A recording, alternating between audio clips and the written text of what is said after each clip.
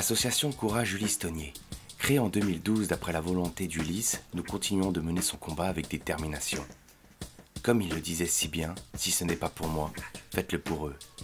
Afin de lutter contre la plasie médulaire idiopathique, une maladie du sang qui empêche la production des cellules souches, ce qui réduit les immunités et les défenses de l'organisme.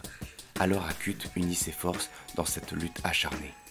Marche après marche et sans relâche, Acute portant avec de nombreux collaborateurs un message de sensibilisation et d'espoir et d'actions diverses et variées, afin d'aider à récolter des dons pour la recherche, le développement des infrastructures, telles la création d'un registre au Cameroun, sensibiliser aux dons de sang, de moelle osseuse, vous invitant à rejoindre la grande famille des veilleurs de vie. Il faut voir en grand parce que la maladie, elle ne perd pas de temps, elle en prend. Elle se fiche de l'ethnie, se fiche d'anéantir des familles. La maladie grandit de jour en jour, les traitements aussi.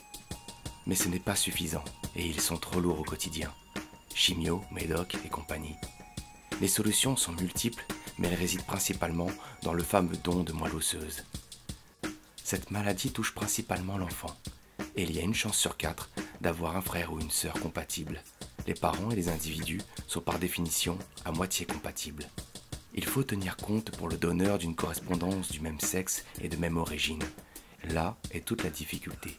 Cette maladie touche chaque année dans le monde 10 personnes sur un million. Pour un malade, il n'y a qu'un donneur compatible sur 200 000. Cela est trop peu, cela peut changer, et cela dépend de vous. Renseignez-vous auprès de votre médecin traitant, dans les hôpitaux, sur Internet, parce que le remède, c'est vous, ne le gâchez pas. Ma main dans ta main, ça changera demain acute.